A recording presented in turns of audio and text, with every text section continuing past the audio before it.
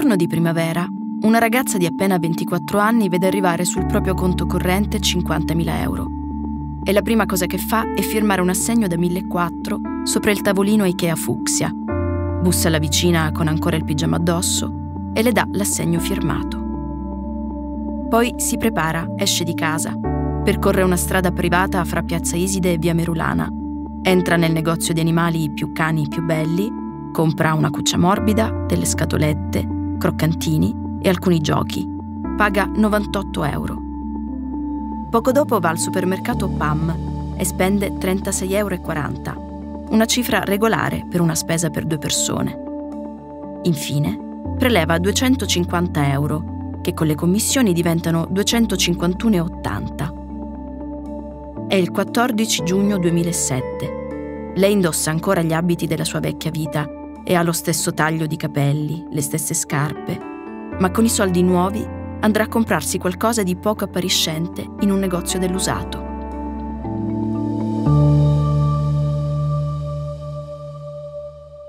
Questo è il brano che Melissa Panarello ha scelto per cominciare a raccontare il suo nuovo romanzo, che si intitola Storia dei miei soldi.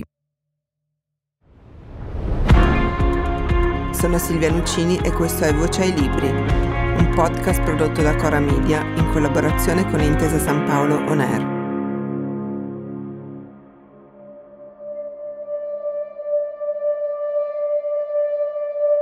Protagoniste della storia sono due donne. Una si chiama Melissa, fa la scrittrice, e tanti anni prima ha avuto un grande successo con un romanzo, diventato poi un film. A interpretare Melissa nel film era un'attrice molto giovane e bella, Clara T. Melissa e Clara si sono ovviamente conosciute e frequentate ai tempi del film, ma poi si sono perse di vista. Molti anni dopo Melissa incontra Clara, che è una persona completamente diversa da quella che ricordava. La sua bellezza non c'è più, cancellata da una vita faticosa, che Clara le comincia a raccontare. Una vita che è una spirale e nella quale Clara T ha perso tutto, soprattutto i soldi. Partiamo da una cosa che Clara dice a Melissa. Ti porto i miei estratti conto, altro che romanzi, è lì che trovi le storie della gente. E più avanti nel libro scrivi che non è la quantità dei soldi che dice chi siamo, ma come li abbiamo spesi o persi. Che cosa raccontano i soldi di noi? I soldi sono, sono la nostra fotografia, il modo appunto in cui li abbiamo spesi, in cui li abbiamo guadagnati, come li abbiamo sperperati, come li abbiamo desiderati, racconta moltissimo di noi stessi. Perché è vero, i soldi no, non determinano un individuo, ma determinano sicuramente le scelte che può fare un individuo. Questa è una cosa che Clara mi racconta, che racconta alla Melissa nel libro, ovviamente. E a un certo punto Melissa capisce bene questa cosa quando appunto comincia a seguire i movimenti di Clara nel corso della sua vita o di parte della sua vita attraverso proprio il suo conto corrente, cioè che cosa ha fatto Clara con i soldi, come li ha guadagnati, come li ha spesi, perché rappresenta un conto corrente rappresenta una mappa fondamentalmente dove una persona si aggira all'interno di un luogo, all'interno di uno spazio e di un tempo facendo delle cose. E quelle cose che fai determinano poi alla fine chi sei, perché tu puoi dare a te stesso qualsiasi immagine ti pare, qualsiasi idea pensi che ti possa appartenere, ma poi è quello che fai che effettivamente determina chi sei. Tutto il romanzo si gioca su questa idea del doppio. Ci sono queste due donne che erano state giovani e di successo insieme nello stesso momento, ma poi le loro strade vanno in due direzioni quasi opposte. Melissa si costruisce pian piano la sua felicità, un marito, due figli, mentre Clara inizia il suo viaggio di infelicità, anche se a dire la verità la sua infelicità era iniziata prima di quel film. Sullo sfondo c'è un dubbio che incombe. Potevo essere io, ma anche, forse sono anche io.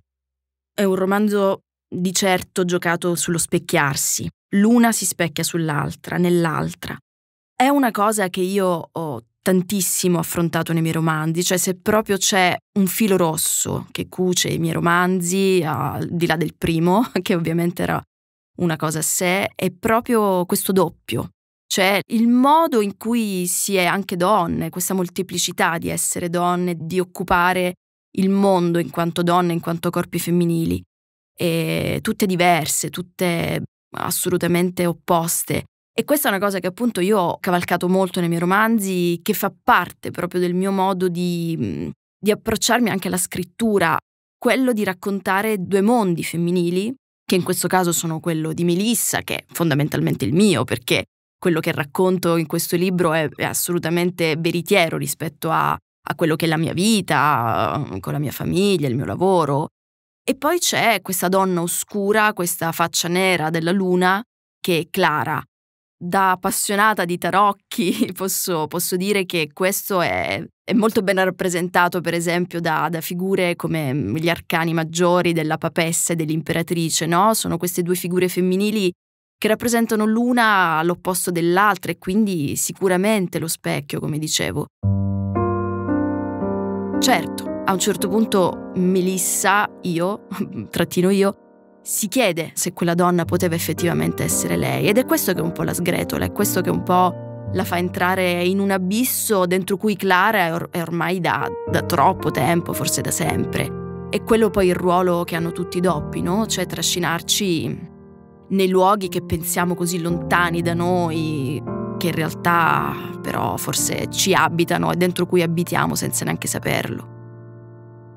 La storia di Clara è segnata da un grande buco che sono i suoi genitori, soprattutto sua madre, che è una donna che non sa amare e che è invece ossessionata dal denaro, che chiede in continuazione a Clara, inventandosi bisogni e bugie a cui lei finge di credere.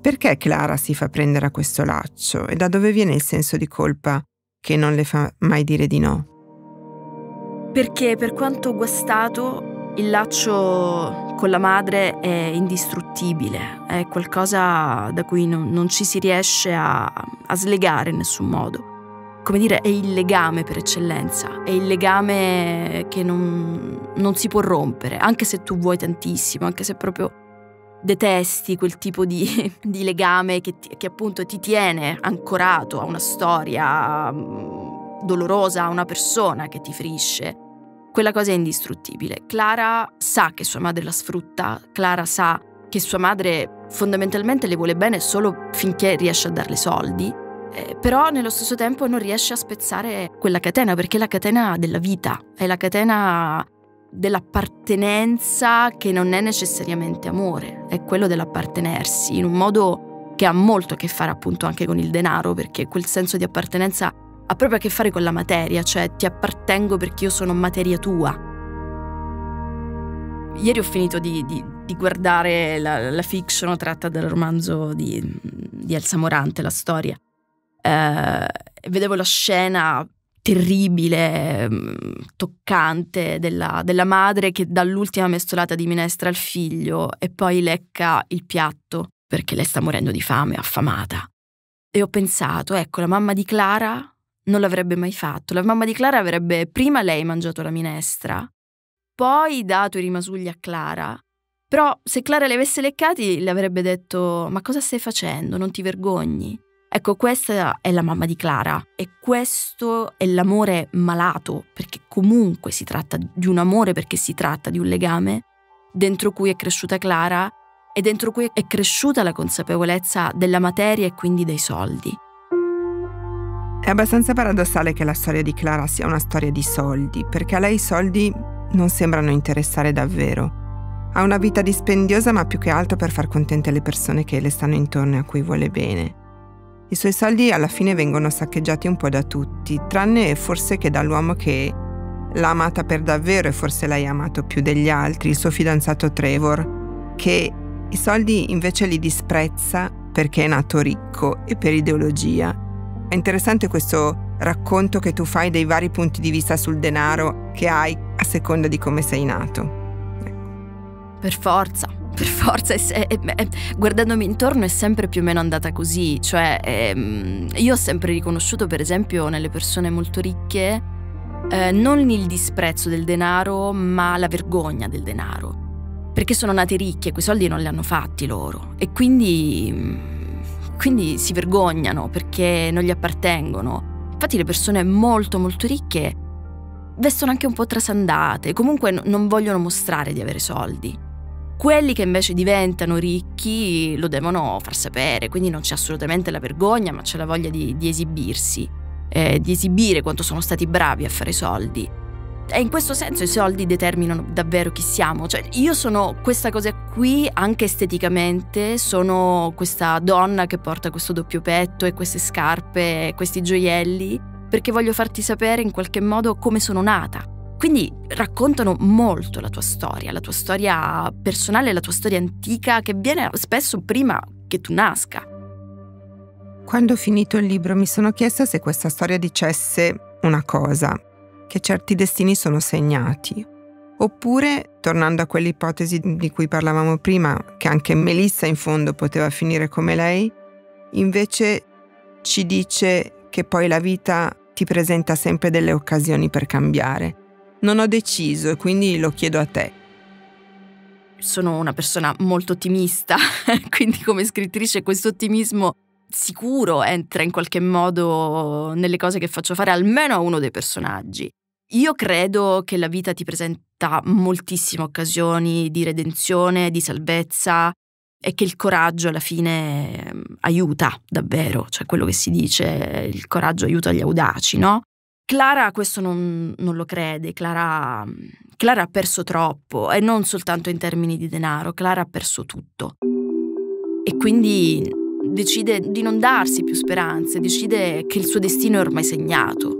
Ma in qualche modo l'ha deciso lei, cioè no, non è qualcosa che arriva da fuori, il destino non è qualcosa che qualcuno a un certo punto ti affida e tu te lo ritrovi così pronto uh, da, da, vivere, è, è qualcosa che tu costruisci ogni giorno. E Clara con le sue scelte, con le sue esperienze che l'hanno portata poi a fare determinate scelte, compie il suo destino.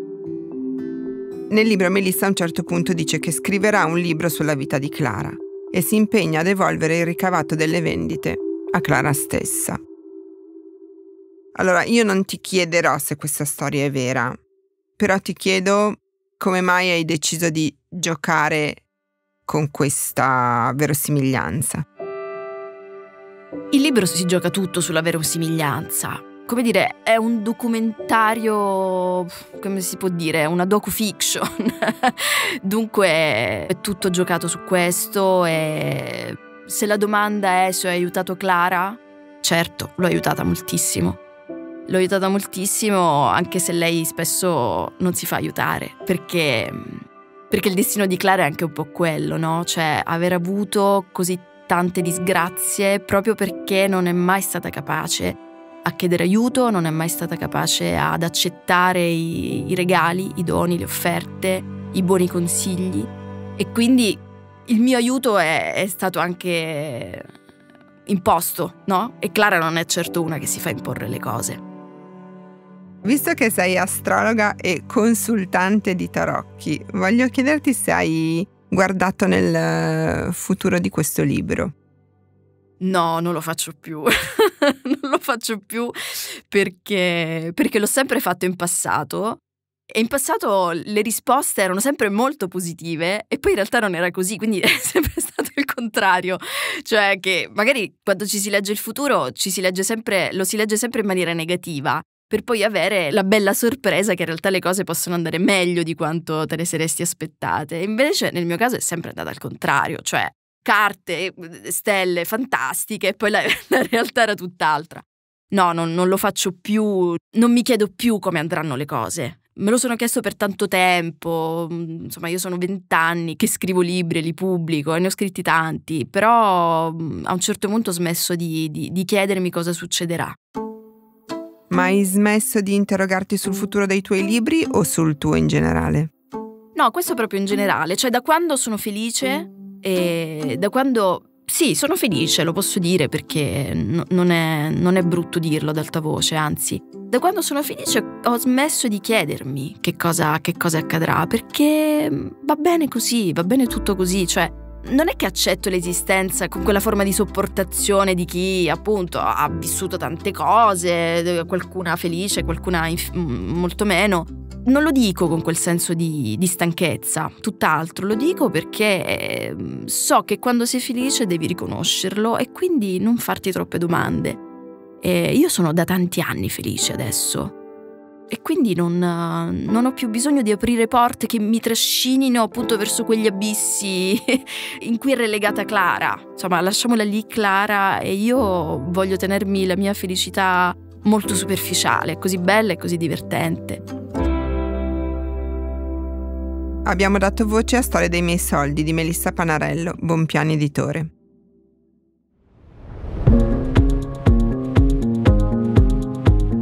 Voce ai Libri è un podcast di Cora News prodotto da Cora Media in collaborazione con Intesa San Paolo On Air. È scritto da Silvia Nuccini, la cura editoriale di Francesca Milano. La supervisione del suono e della musica è di Luca Micheli. La post-produzione e il montaggio sono di Cosma Castellucci. I fonici di studio sono Luca Possi e Lucrezia Marcelli. Il producer è Alex Peverengo.